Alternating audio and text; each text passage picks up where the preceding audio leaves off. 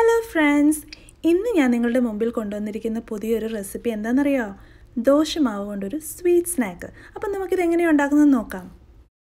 അപ്പം നമുക്ക് ഇതിന് വേണ്ടിയുള്ള സാധനങ്ങൾ എന്തൊക്കെയാണെന്ന് നോക്കാം.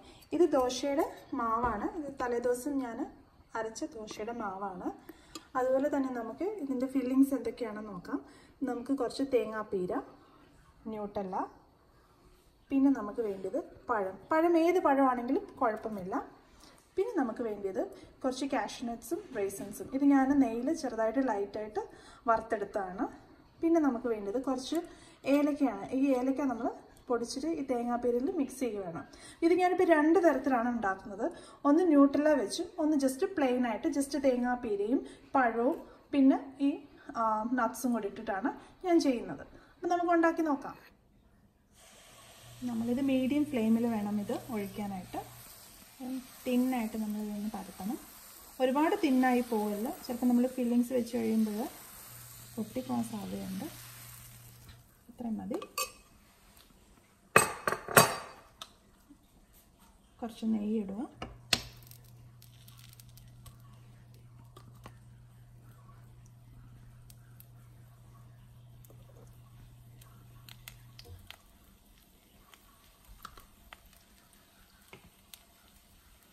ഇനിയിപ്പോൾ ഞാനിതൊന്ന് തിരിച്ചിടാൻ പോവാണ്.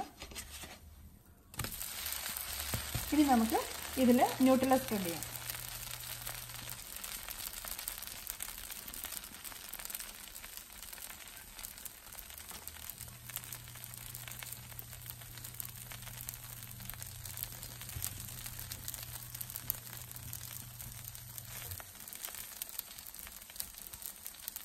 കനം കഴിയുമ്പോൾ പൊട്ടിപ്പോകാൻ സാധ്യതയുണ്ട് പെയ്യെ ചെയ്യുക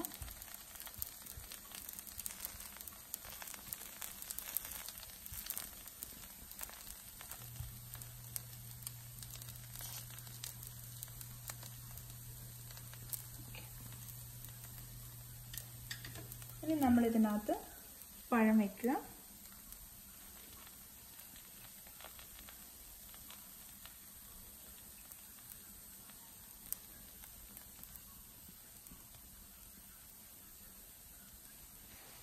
അതുപോലെ കുറച്ച് തേങ്ങാപ്പീര.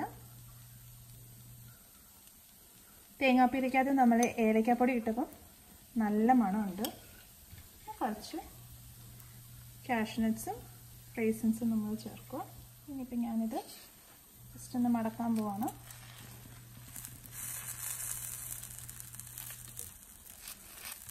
മീഡിയം ഫ്ലെയിമിലിട്ട് ചെയ്യാം അല്ലെങ്കിൽ ഇത് കരിഞ്ഞു പോവും.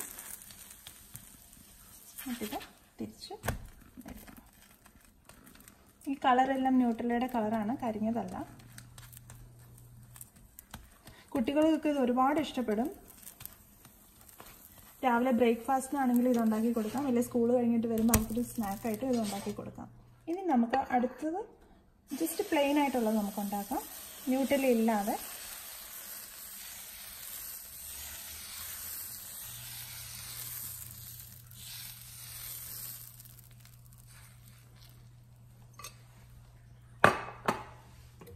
നെയ്യ് നമുക്ക് ഒഴിക്കാം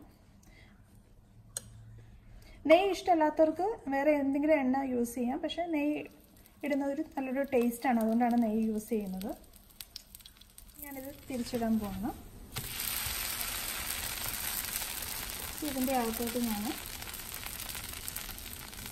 പഴം ഫില്ലിങ് ചെയ്യുകയാണ്.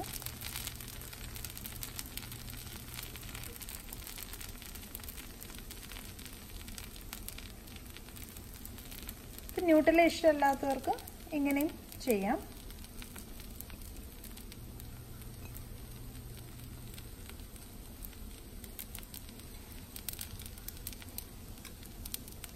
കുറച്ച് തേങ്ങാപ്പീര.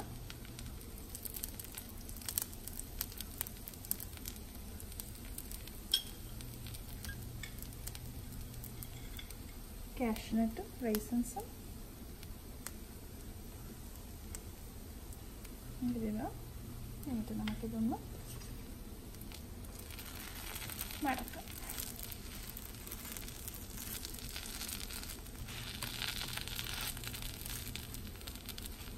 നമുക്കിതൊന്ന് തിരിച്ചിടാം. ഇത്രയേ ഉള്ളൂ. എളുപ്പമാണ്. നിങ്ങളെല്ലാവരും ഇതൊന്ന് ട്രൈ ചെയ്ത് നോക്കുക. നല്ല ടേസ്റ്റാണ് ചായയുടെ ഒക്കെ കഴിക്കാൻ നല്ല ടേസ്റ്റാണിത് ഒന്നുകൂടെ തിരിച്ചിടുക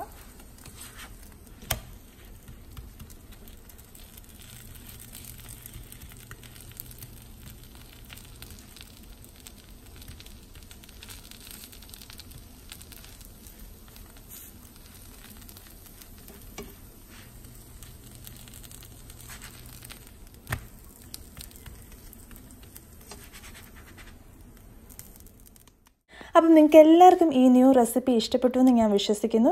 ഇഷ്ടപ്പെട്ടാൽ നിങ്ങളെല്ലാവരും എനിക്ക് ലൈക്ക് ചെയ്യാനും സബ്സ്ക്രൈബ് ചെയ്യാനും ഷെയർ ചെയ്യാനും മറക്കരുത്. അടുത്ത വീഡിയോയുമായിട്ട് വരുന്നിടം വരെ ടേക്ക് കെയർ.